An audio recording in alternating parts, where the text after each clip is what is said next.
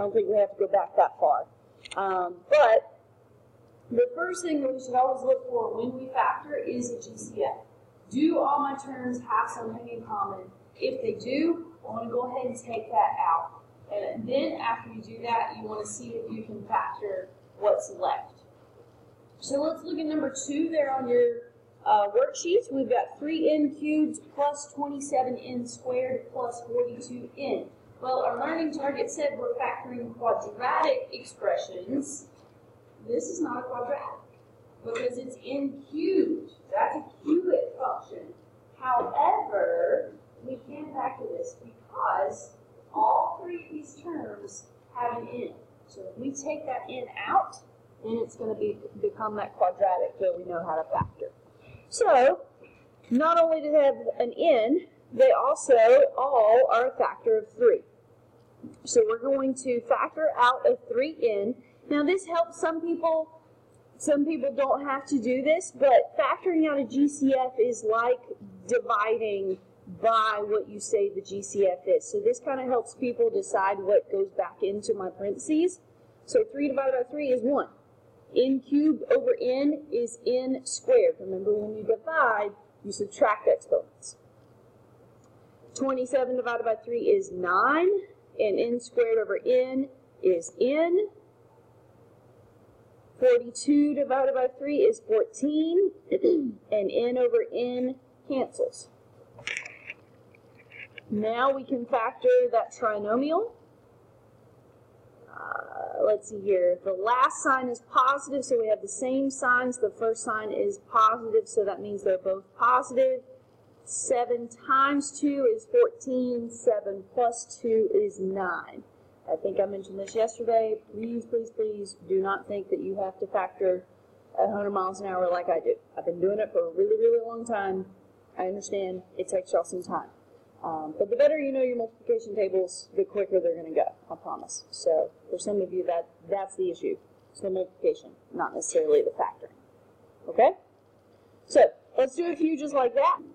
The leading coefficient A is not the GCF. Now, I've showed most of you kind of the way that I prefer to do it, and the more mathematically correct way to do it. But there is a trick, and some of you may have seen this before, but it's called slip, divide, and slide.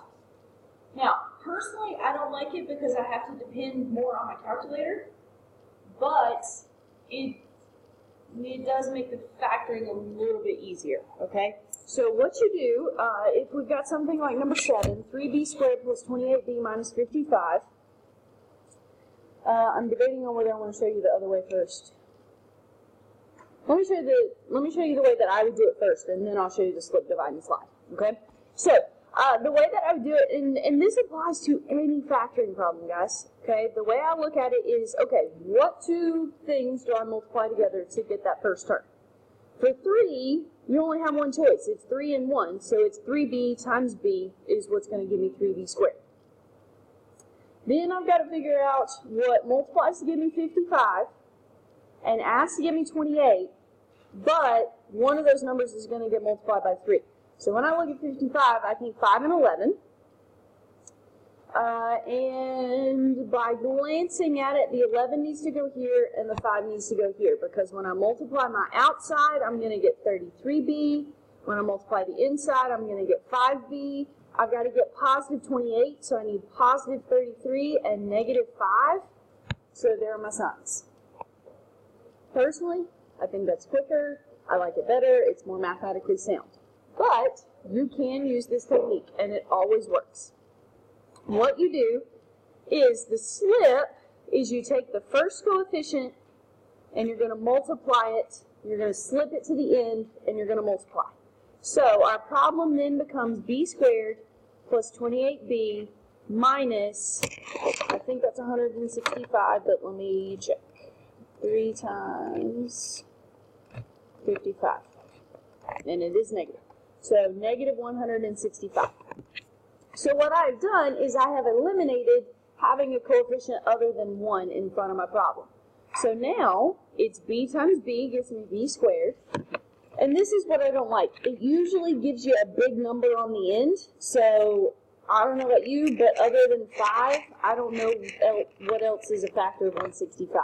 So that's where I'm going to start. I'm going to start with five. I lucked out because 5 times 33 is 165, and 5 and 33, if one of them is positive, if 33 is positive and 5 is negative, that's going to give me the 28. So that's the slip part. Then you factor. Now you divide. You divide by that original leading coefficient. So the original coefficient was 3. I'm going to divide. If it divides evenly, I go ahead and divide it out. 33 divided by 3 is 11.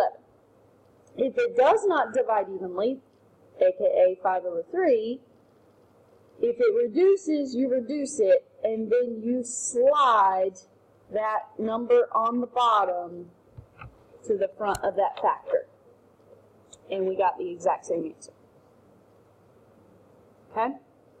So, I prefer the purple, but I have a feeling some of you will really like this because you don't have to worry about the, okay, well, this one's going to get multiplied by the 3 and how they interact kind of thing. Okay? So this always works. You just have to rely on the calculator a little bit more to figure out the factors. Okay? Do I need to kind of run through that again? Okay. Slip. First coefficient slips to the end, you multiply. You factor, then you divide by that original leading coefficient. If it divides evenly, you go ahead and do that.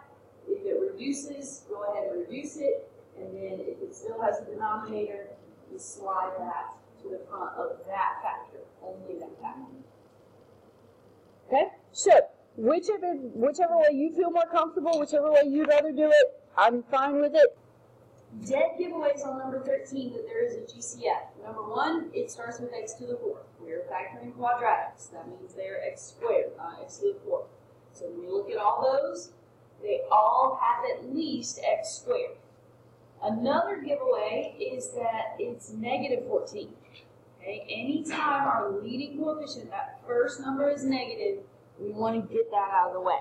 Now the question is, is 14 the GCF or is it one of the factors of 14? So I do need to uh, go ahead and divide my, uh, excuse me, other numbers by negative 14. Uh, no, 14 is not our GCF because 146 is not evenly divisible by 14. So then I go to the next biggest factor of 14, which is 7. That doesn't work either. So then our only other option is 2. They are all divisible by 2. So that means our GCF is going to be negative 2x squared. And again, it may be helpful to you to go through and write this under all your terms. It gives some people a better visualization. Okay, so negative 14 divided by negative 2 is positive 7. x to the fourth over x squared is x squared. Uh, what that? Negative 74. x. 73. Come on, basic math. And that would be 132 on the end.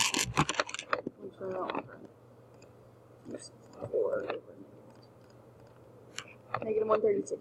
Okay, so this one's kind of big. Okay, but one of the advantages is that even though our leading coefficient is not 1, it is prime. So that does kind of cut down on our options as far as, you know, what times what gives us 7x squared. We only have one option. 7x times x gives us 7x squared.